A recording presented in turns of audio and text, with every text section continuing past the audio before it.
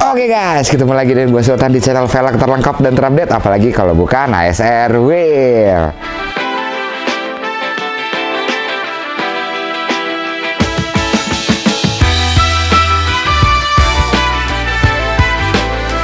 Sekarang gua sama Bintang pingin ke daerah Tasik ya Jawa Barat.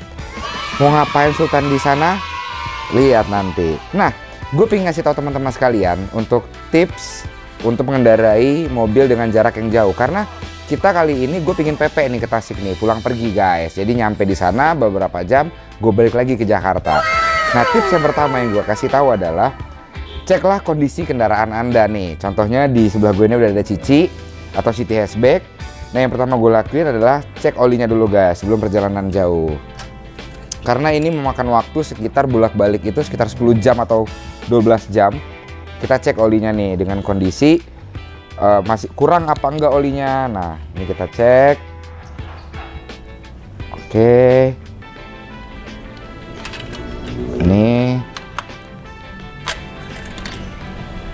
Nah ini udah di posisi yang pas olinya pas banget tuh di sini. Karena batas uh, fullnya itu di sini minnya itu di sini. Jadi kalau setengah ya ditambah sampai full gitu. Misalkan kurang mobil-mobil teman sekalian Nah, habis itu yang kedua kita cek air wiper. Air wiper itu sangat penting untuk perjalanan karena jangan sampai di tengah jalan misalkan kacanya kotor. Nah, mobil teman-teman sekalian air wipernya kurang, iya. Ngebersihinnya nggak bersih dong. Nih kita cek. Nah, kebetulan ini udah full, udah gue isi juga nih. Habis itu udah kita cek, minyak rem juga harus dicek nih. Uh, min plusnya Wah ini udah pas. Dia di posisi di max nih guys. Pas. Cakep. Nah untuk teman-teman sekalian jangan lupa untuk cek barang yang dibawa nih. Jangan sampai ada yang ketinggalan guys. Apa aja barang yang dibawa? Misalkan bawa tas koper atau segala macam handphone casan segala macam jangan sampai ketinggalan karena akan memakan waktu lagi nih. Jangan lupa bawa plastik. Karena apa? Mungkin teman-teman yang untuk pemab yang mabuk di jalan, suka pusing, suka mual, bawa plastik karena itu sangat penting. Jadi di jalan kalau mulai penumpang merasa tidak nyaman langsung dipakai plastiknya. Minggir dulu sebentar, boleh muntah di situ, guys.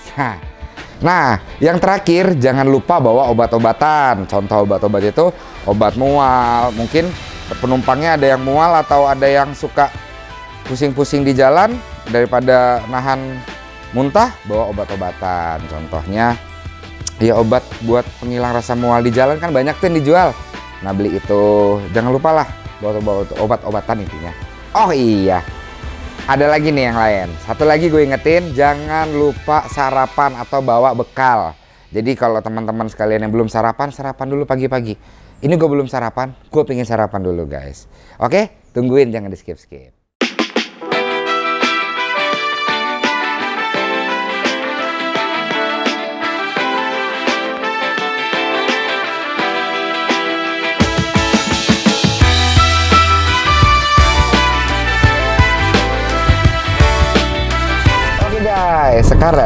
kita udah sampai di daerah Cipularang nih.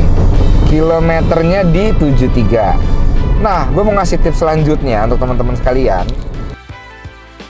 Untuk di jalan itu kalian yang bawa mobil atau mengendarai, jangan main handphone atau ngeliatin maps di handphone. Nah, kebetulan di mobil City ini udah terpasang nih di tipnya untuk uh, Apple, uh, Apple CarPlay-nya. Jadi gue GPS ngeliatnya dari tip langsung jadi nggak main handphone lagi nih. Dan untuk penumpang kalau bisa jangan sambil main handphone karena bisa menyebabkan pusing mual itu habis itu yang bawa anak-anak yang bawa baby atau anak-anak. Nah itu diusahakan bawa mainannya cemilannya. Dan untuk yang orang dewasa juga perlu tuh cemilan biar nggak jenuh nggak ya nggak menghibur diri lah gitu loh. Nah selanjutnya untuk yang sudah perjalanan melebihi batas uh, minimum atau batas uh, orang lelah mengendarai itu sekitar yang setahu gua itu sekitar 4 jam 3 sampai 4 jam untuk mengendarai secara uh, terus menerus tuh beristirahatlah sesuai kondisi badan kalian. Rasa-rasa sudah capek ngantuk istirahat karena bi tidak biar tidak me- apa ya biar tidak terganggu lah konsentrasi teman-teman sekalian. Jadi istirahat istirahatnya itu sekitar 15 menit sampai 20 menit cukup lah. Duduk sebentar minum kopi atau gimana rebahan itu boleh. Silakan. Jadi istirahat itu sangat perlu di mengendarai kendaraan guys. Ada batas maksimalnya juga kan kita mengendarai ini. Itu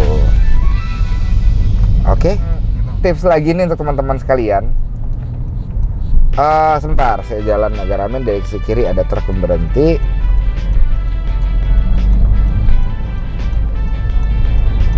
Nah, yang bikin gua kasih tips lagi, ini selanjutnya. Jangan lupa muter musik kesukaan kalian. Karena ya lu jalan di jalanan ini di jalan tempat apa ya di tol apalagi nih yang banyak lurus-lurusnya biar nggak jenuh putar lagu kesukaan kalian.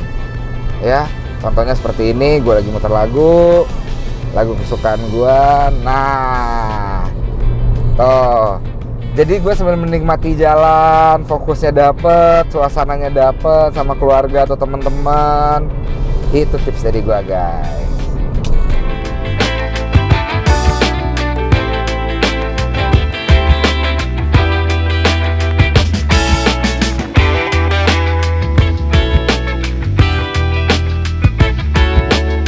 Nah, guys, mengendarai kendaraan itu ada batas kecepatan juga tuh. Sekarang kan sudah ditentukan tuh batas kecepatannya itu di berapa di tol atau dalam kota atau luar atau dalam kota. Nah, ini gue stabil di 80 nih. Batas kecepatan maksimalnya.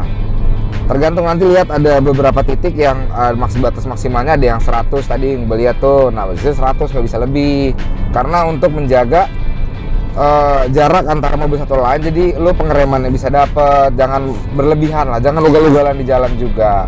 Karena jalan milik bersama menjaga eh, keamanan bersama juga guys. Nah untuk di jalan teman-teman pingin ngecas itu ya jangan bata jangan pelobet wajib lah. Nah kita dari auto project nih juga dipasangin. Sebelah sini ada nih. Kenapa gua nggak pakai? Karena sebelah sini bisa dipakai. Kalau ada penumpang kan bingung kanan kiri. Nah sebelah kanan supir ada casannya guys. Sebelah sini nih. Nanti gua kasih footage-nya. Tuh habis itu nih tatakan juga dari auto project nih guys. Ini biar bisa handphone taruh di sini juga atau buat etol biar nggak payah-payah nyarinya gua taruh di sini. Habis itu kaca film. Kaca filmnya ini jago nih dari Cool and Light. Karena di dalamnya ini terang banget.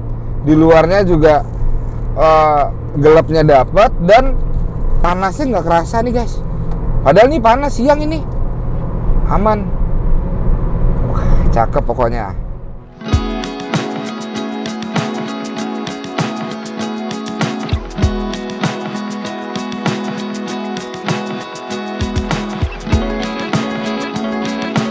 guys. Nah, sekarang kita lagi istirahat di rest area nih di kilometer 147 kilometernya. Sudah perjalanan ini sudah memakan waktu sekitar dua jam setengah. Masih ada di maps tadi gue lihat sekitar tiga jam lagi nih. Gue istirahat dulu kenapa? Ya karena mas sebenarnya masih sanggup. Tapi mobil kita istirahatin lah. Tadi kena macet-macet juga ada jalan tanjakan turunan kita istirahat. Mobilnya istirahat kitanya juga istirahat. Dan jangan lupa untuk teman-teman sekalian pakai masker ke mana pun anda. Me- walaupun udah dibolehin nih lepas masker di tempat yang tidak berkerumunan. Tapi ya setidaknya jalan jauh lu pakai masker lah tetap. Karena kita menjaga untuk diri kita dan orang lain juga kan. Nih gue udah beli cemilan Nggak lupa gue beli cemilan, gue beli minum juga nih. Ada air putih juga udah gue masukin ke mobil, tapi bikin yang manis-manis. Air putih jangan lupa banyak-banyak minum air putih guys.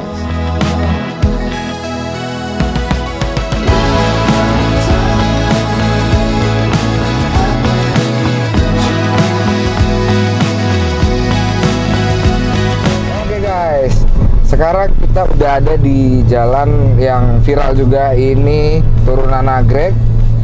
Nah ini rawan remblong tuh udah ada peringatannya tuh, cek rem rawan remblong. Jadi di sini kita memakai remnya. Engine brake kalau untuk manual di mobil Matic juga ada tuh engine brake-nya. Dipakai dari D mungkin dipakai tiga atau dua gitu loh.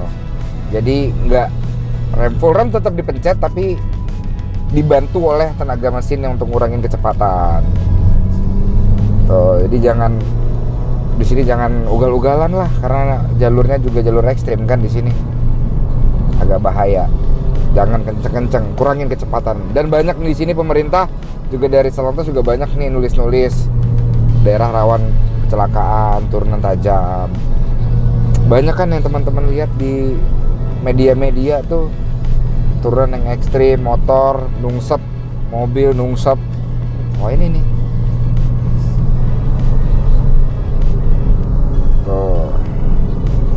Tasikmalaya lurus. Kita stabil di 60, turunan kita turunin ke 20 atau 30 boleh. Dan ini one way ya? One way nih. Kita mau ke daerah Tasik kita lurus. Kalau Garut teh belok kanan, kalau kita lurus guys.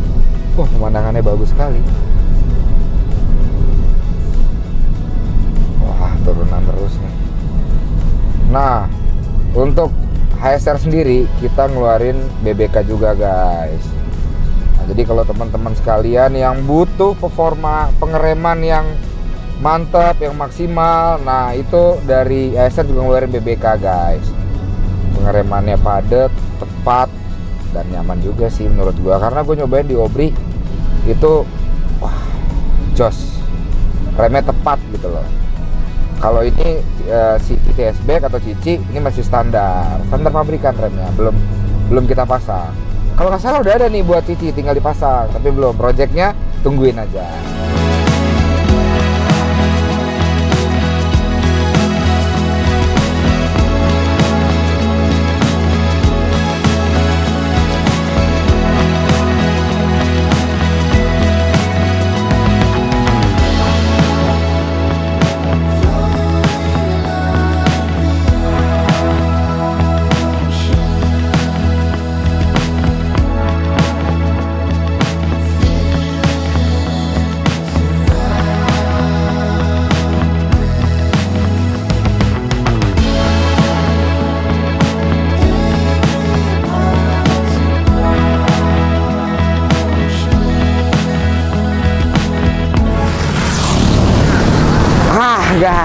Akhirnya sampai juga. Oke guys, gua udah sampai di Tasikmalaya nih guys. Segitu dulu nih tips dari gua. Gue ingetin sekali lagi nih ya. Jagalah keselamatan, jangan ugal-ugalan, jaga jarak aman. Jaga jarak amannya bukan hanya di berkendara, dengan social distancing karena masa covid ini juga perlu. Gua kenapa nggak pakai masker dari mobil dan ini ruangan terbuka. Untuk kalian semua gue ingetin jaga kesehatan ya guys ya. Gua Sultan pamit undur diri. Ingat velak, ingat ASN.